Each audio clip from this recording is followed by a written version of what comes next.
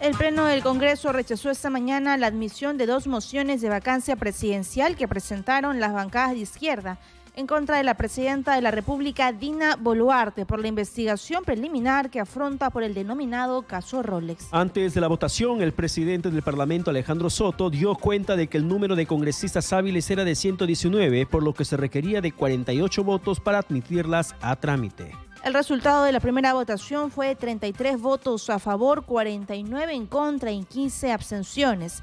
Se trató de la moción de orden del día 10850 que presentó la bancada de Perú Libre el sábado 30 de marzo, después de que un equipo de fiscales y policías allanara la vivienda de Boluarte Segarra en Surquillo y el Palacio de Gobierno en el marco de las diligencias por el mencionado caso.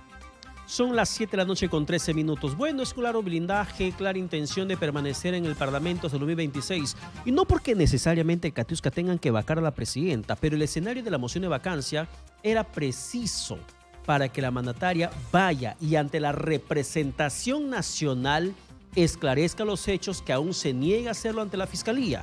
Mañana es su cita. ¿Va a ir a declarar a la presidenta o va a guardar silencio?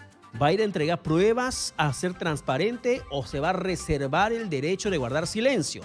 que también lo hizo en anteriores investigaciones que se le siguen en contra. El ministro Rómulo Mucho estuvo hoy día en Exitoso con Nicolás Lucar y ha dicho que la presidenta Dina Boluarte va a asistir hacia, hacia la fiscalía, va a estar en la fiscalía para dar su declaración.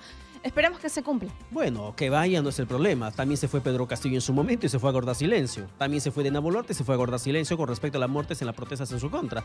O sea, el problema no es la asistencia, el problema es lo que vaya a decir o lo que no quiere decir, la forma como se pueda callar.